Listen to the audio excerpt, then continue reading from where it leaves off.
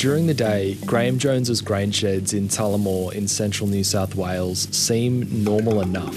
A bounce back harvest following years of drought means he has almost 3,000 tonnes of wheat in storage. But at night time, the mice move in.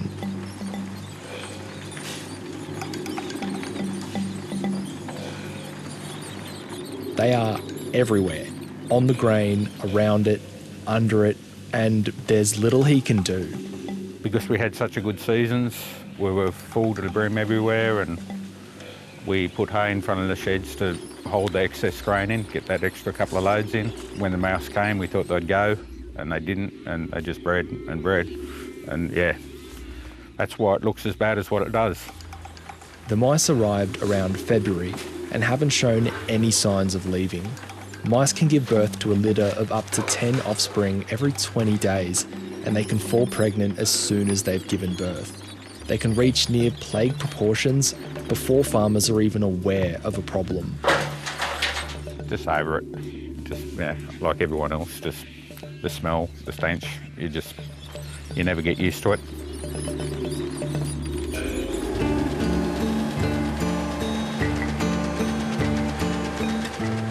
But it's not just his sheds where he's got a problem. The mice have delayed him sowing this year's canola crop because it could be eaten before it has a chance to grow. There are no silos in the area for economic reasons, and grain bagged and stored outside his sheds is also not safe. So his priority is to remove all the possible food sources for the mice plague. He's selling his grain earlier than he planned, forcing him to enter the market at a lower value than he'd hoped for. We needed to get it off in a hurry, so we had to buy a bagging machine, and we've got a lot more grain in the paddocks, and that's giving a feed source for the mice. So we need to get rid of that feed source before we sow to try and get the population down. But we're up against it, but we'll get there. It's a race against time as the sowing season draws closer to its end, and mice try to be everywhere where there is grain even inside machines.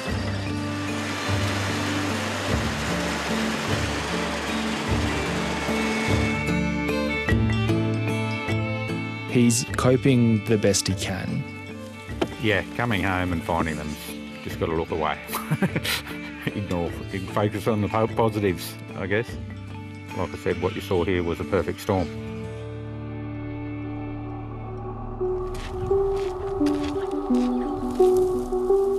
Further north, on Adam McRae's farm near the town of Coonamble, mice have eaten his future.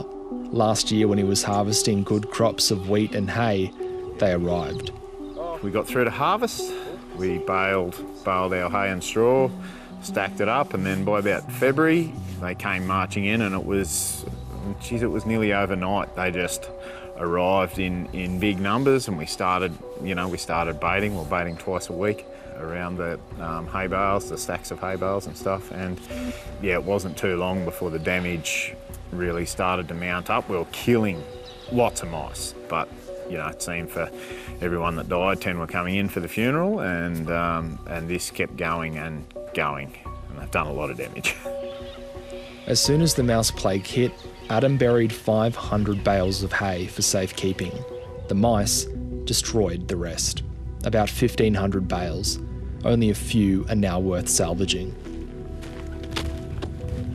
We're in the hundreds of thousands where we're, where we're looking at with our losses. It sort of gets you on a number of levels, I reckon. You know, there's obviously an economic cost, but it's probably not the one that really hits you the most. I think it's, you know, my son drove the truck, you know, to pick up the hay. We had a big team of guys do the straw, um, a lot of work, and just put the icing on the cake with harvest um, and the effort to, to get it all to where it was and stacked and tarped. And, you know, it, was, it really was an achievement.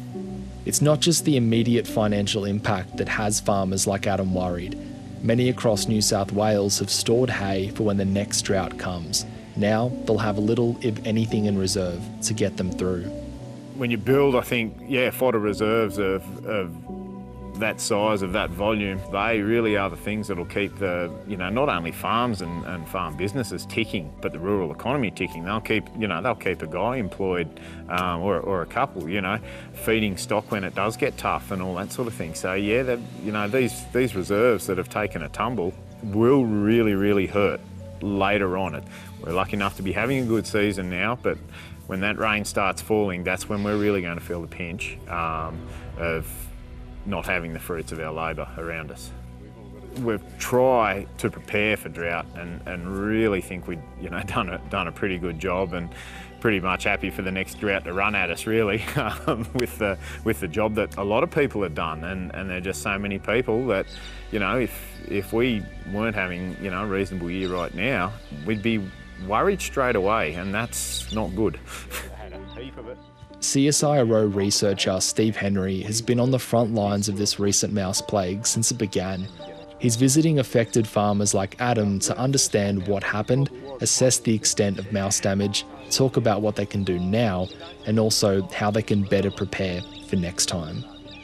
In one farm not far from here, we know of a haystack that contained 3,000 bales that was completely contaminated, and so the farmers were only left with the option of, of burning that hay. That was a $120,000 loss on one farm. One of the things we're concerned about now is, is the, the rate of over level, overwinter survival. So if we get a high level of overwinter survival of mice, then if conditions are favourable next spring, then they'll start breeding early from a high population base and that leads to a very rapid rate of increase. Steve Henry says this ongoing mouse plague is a once in a decade event.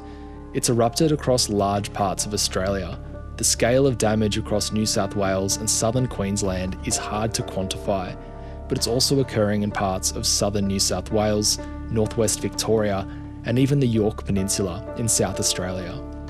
To help contain the widening outbreak, the Australian Pesticides and Veterinary Medicines Authority has approved an emergency permit to allow bait producers to double the strength of zinc phosphide bait. And if mouse populations aren't reduced over winter, the scientist warns mice could re-emerge in even greater numbers. There's, there's, the, there's the physical cost of it, and that's, you know, that's devastating enough by itself, but then there's the ongoing psychological impact that it has, and you guys dealing with this every day. Yeah. So this is something that we've only just started looking into, but it seems like in, you know, in this area of northern New South Wales, it's been quite common you know, for farmers who have managed to put away hay to have it seriously impacted by mice. And you know, if you're hearing stories about you know, single farms losing $120,000 worth of hay, on this farm, goodness knows how much they've lost.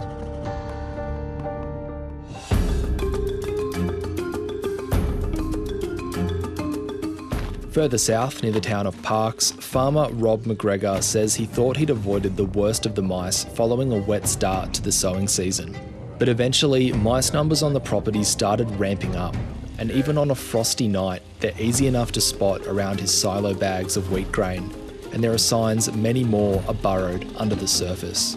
They just didn't seem to breed up in the numbers, whether that was because of the wet period we had there for a while but it seemed like we'd kind of dodged a bullet. But we've noticed in the last week or two, uh, they really are starting to ramp up again. And the problem with that is it, it's at a time where we would normally be beginning to sow our canola, and canola seed being so expensive, the risk of damage uh, to a, a, newly sown canola crop is quite high.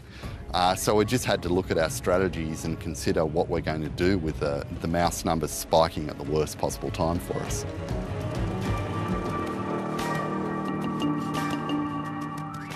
The mice have delayed Rob from sowing canola, but after working on some land that was once teeming with mice, he's ready to put a wheat crop in before it's too late.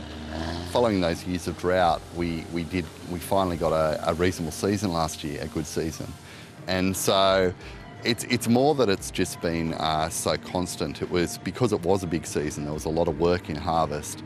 And then because of the wet summer as well, we had a lot of spraying through the summer. And now as we turn into sowing, we just there just seems to be no end to, to what's going on. We're going into country here at the moment that is uh, country that we've worked. Uh, it had really high mouse pressure, but be, since we've worked it, it seems to have really done the trick and the mouse pressure here is nowhere near what it was. Where there are grain crops, there are usually mice. It's not a problem when mouse populations are low, but CSIRO says high populations are becoming a persistent problem. Australia recorded its worst mouse plague in 1993, with the animals responsible for about $96 million in losses. For farmers like Rob, the risk of damage to a crop is worth taking. It's not a case of the damage they've done, although they are they are doing damage. they have been uh, in our like in our silo bags and and in our around our hay and around our storages, and you do get the nuisance value of them of them in the houses. But it's more uh, the concern about the damage they may do as we go into sowing. So it's there's that element of unknown still as to, to just what's ahead of us. The scale, you know, some guys will talk about it, some guys won't. Um, and, and I think if you, yeah, went in and really had a look around, know plenty of guys that have lost, you know, in the order of thousands of bales. And, you know, that's, that's a lot to take out of the system for next drought. And for Graham Jones, confronting a mouse plague on his farm is still better than enduring drought. Oh, a lot more optimistic than what we were a year ago. Yeah, no, things were pretty down and out then.